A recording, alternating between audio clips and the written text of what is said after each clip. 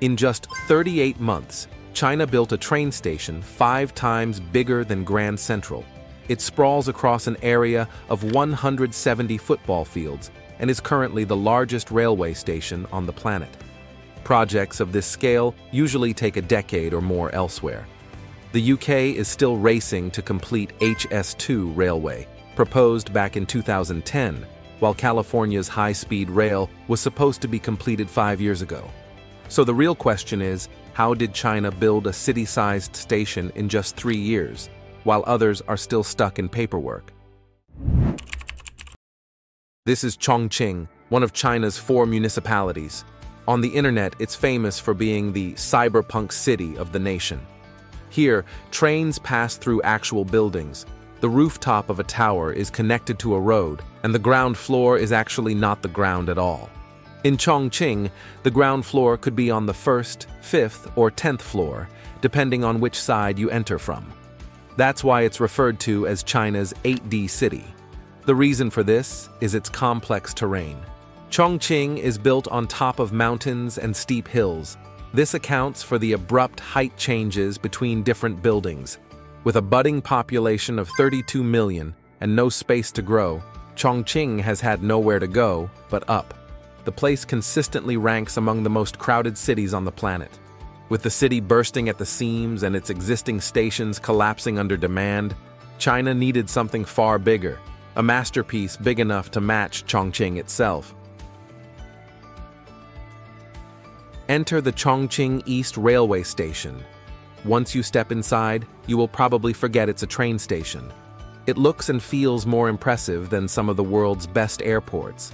The station covers approximately 1.2 million square meters, making it the largest railway station in the world by total area. Designers have spared no expense in making the place look larger than life. The roof looks like a giant forest canopy. It's supported by 25 tree-shaped columns, symbolizing the native Huangjue trees. The roof alone weighs over 16,000 tons. It's big enough to cover the station's 15 platforms and 29 tracks.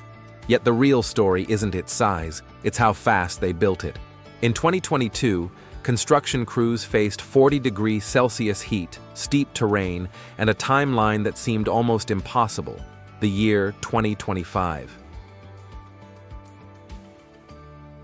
In May 2022, the blueprint of the Chongqing East Railway Station was approved. In just a span of three years, the place went from this to this. Every beam, every roof panel, and every inch of concrete was placed with a precision that no human hand could match. In short, this colossal giant was assembled through an army of robots. During the summer, the construction site turned into a literal furnace.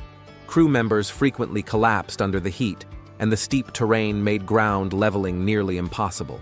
So instead, engineers turned to laser-guided bots. These machines work three times faster than humans and at a fraction of the cost. The same type of tech, by the way, is now used on farms to smooth soil before planting. Then came the roof and facade. This was especially a challenging part since it's made up of massive 800 kilogram glass panels. Each panel was lifted and placed by robotic arms, aligned with millimeter precision. Around the world, more and more mega projects are turning to automation, not just for speed, but for safety. Robots don't tire, don't collapse in the heat, and make precision work routine rather than risky. A famous example is the Boston Dynamics robot dog.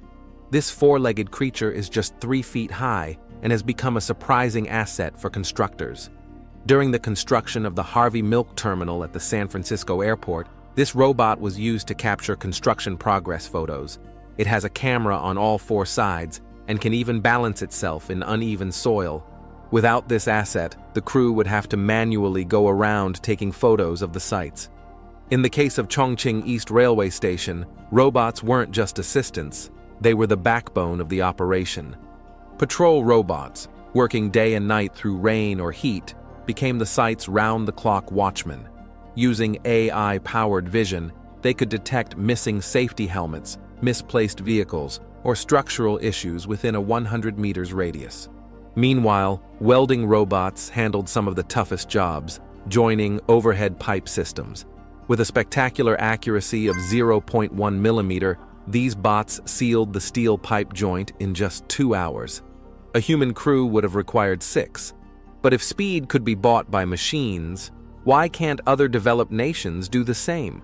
Why can't UK, Australia, or America employ a bunch of bots and call it a day? Across much of the Western world, mega projects like this move at a snail's pace.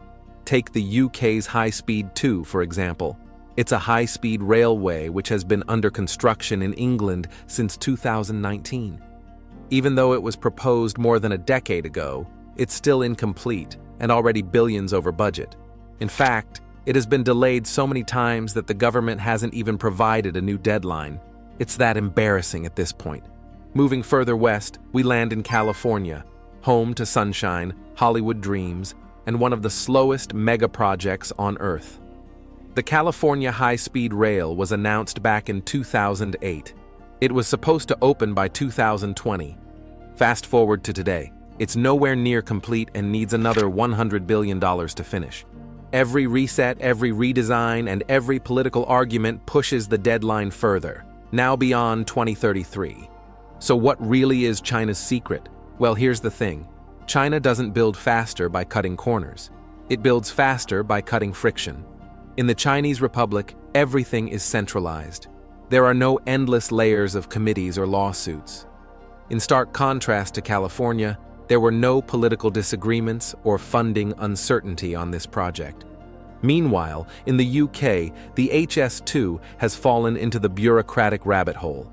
A big chunk of time is spent on conducting land acquisition, environmental reviews, and fighting local lawsuits. In China, all of that goes out of the window. Everything moves in a cycle. Once a project is approved, the funding rolls in, the land is cleared, and construction begins, sometimes all within weeks.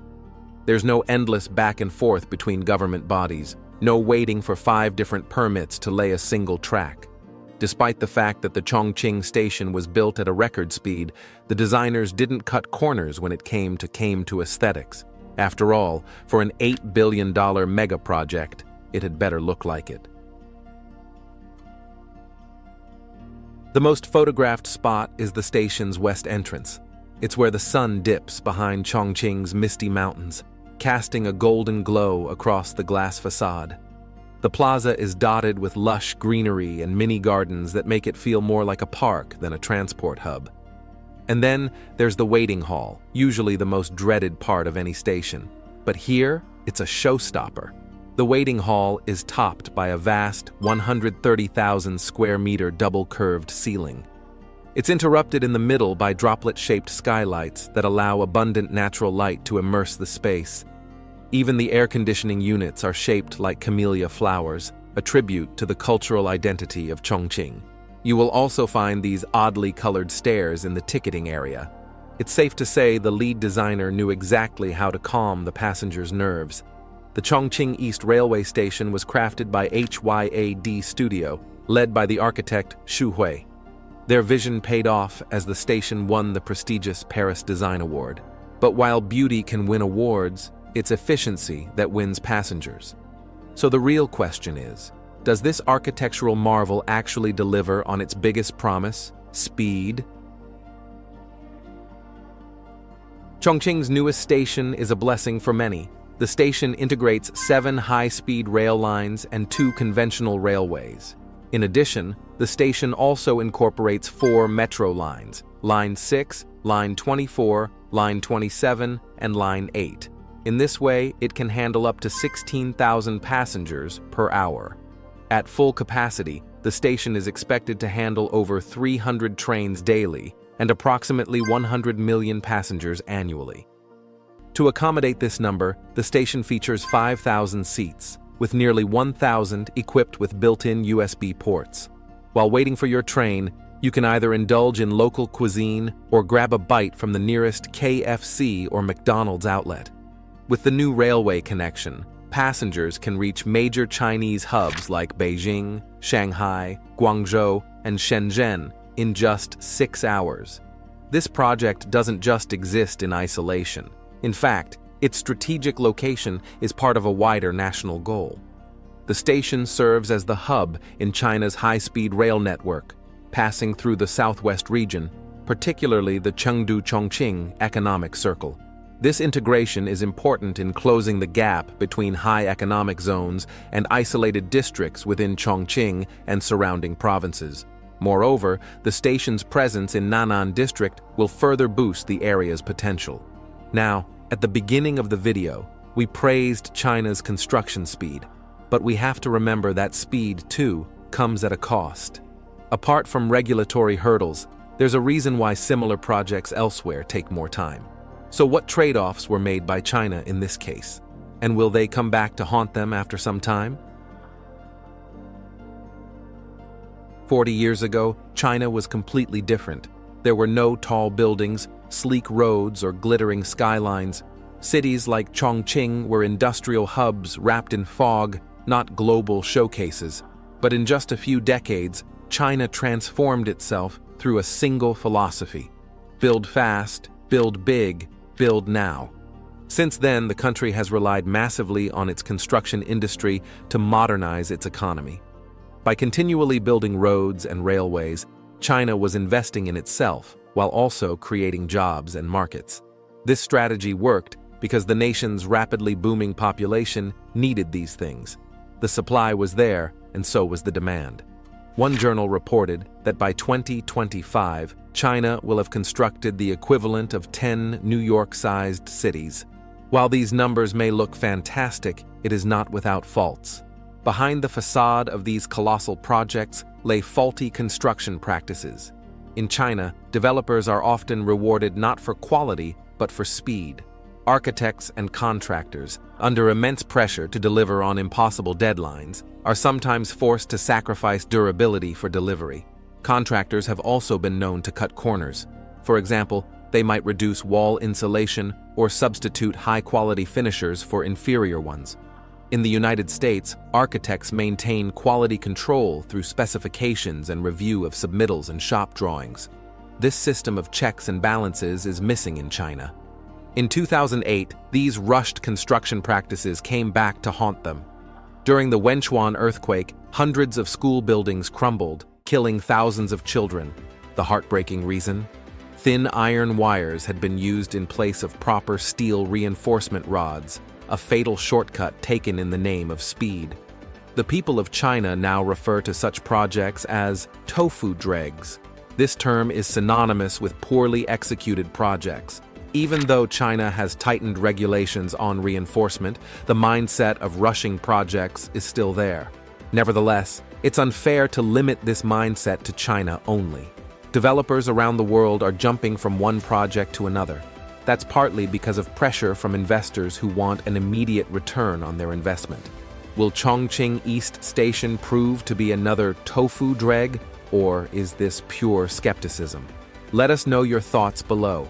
If you liked our video and want to see more similar content, don't forget to smash that subscribe button.